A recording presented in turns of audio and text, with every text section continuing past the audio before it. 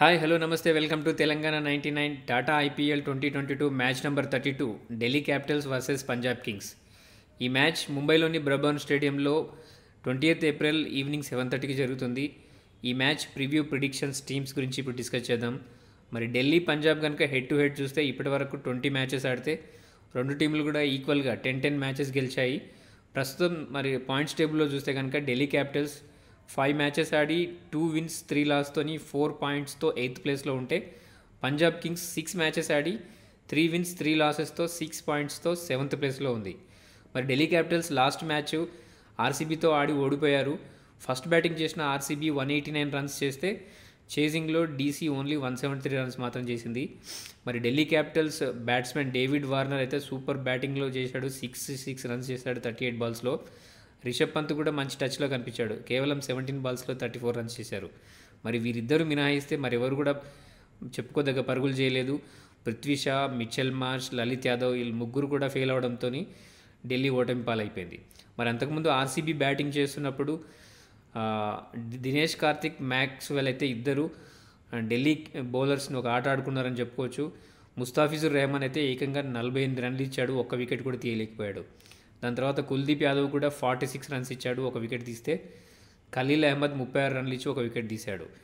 మరి షార్దుల్ ఠాకూర్ చాలా బాగా బౌలింగ్ చేశాడని చెప్పొచ్చు. ఫోర్ ఓవర్స్లో ట్వంటీ సెవెన్ రన్స్ మాత్రమే ఇచ్చాడు ఒక వికెట్ తీశాడు. దాని తర్వాత అక్షర్ పటేల్ కూడా ట్వంటీ నైన్ రన్స్ ఇచ్చి ఒక వికెట్ తీశాడు.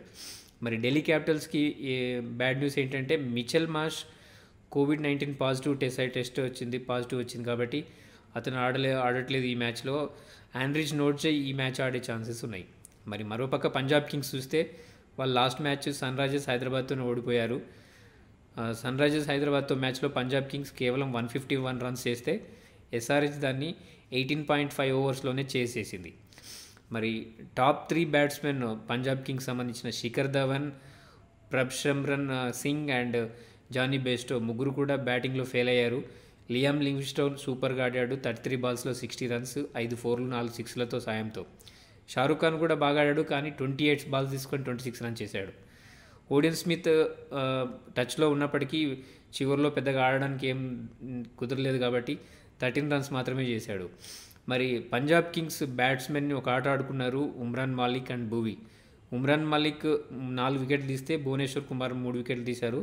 సో పంజాబ్ కింగ్స్ టోటల్గా ఆల్అవుట్ అయ్యారు ఈ మ్యాచ్లో.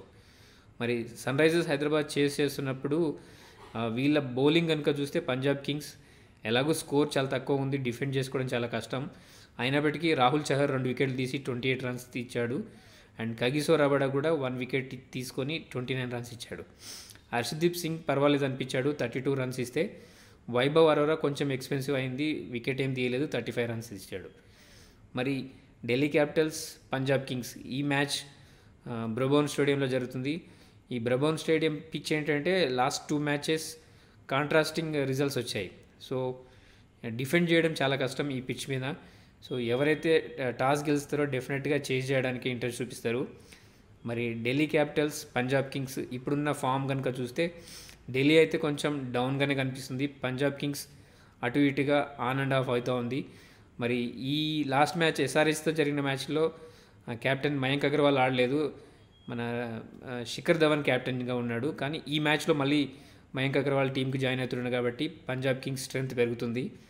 సో వీళ్ళిద్దరిలో ఎవరు గెలుస్తారని ప్రిడిక్షన్ ఇవ్వాల్సి వస్తే మాత్రం మరి ఢిల్లీ క్యాపిటల్స్ కంటే కూడా పంజాబ్ కింగ్స్కే ఛాన్సెస్ ఎక్కువ ఉన్నాయని చెప్పొచ్చు. మరి ఫిఫ్టీ ఫైవ్ పర్సెంట్ పంజాబ్ కింగ్స్కి ఛాన్స్ ఉందంటే ఫార్టీ ఫైవ్ పర్సెంట్ ఢిల్లీకి ఉండే ఛాన్సెస్ ఉంది. మరి ఢిల్లీలో కూడా మంచి ప్లేయర్స్ ఉన్నారు. పృథ్వీ షా డేవిడ్ వార్నర్ లలిత్ యాదవ్ రిషబ్ పంత్ వీళ్ళందరిలో వీళ్ళలో ఎవరు ఇద్దరు ముగ్గురైనా బాగా ఆడి నిలబడ్డారంటే ఓ పెద్ద స్కోర్ చేస్తే చాలా ఈజీ అవుతుంది. టాస్ కూడా కీలకం అవుతుంది ఎందుకంటే టాస్ గెలిచిన టీం చేజ్ చేస్తుంది కాబట్టి చేసింగ్ చేసే టీంకి గెలిచే ఛాన్సెస్ ఎక్కువ ఉన్నాయి ఈ వీడియో కనుక మీకు నచ్చితే లైక్ చేయండి షేర్ చేయండి. తెలంగాణ నైంటీ నైన్ని సబ్స్క్రైబ్ చేయండి. Thank you.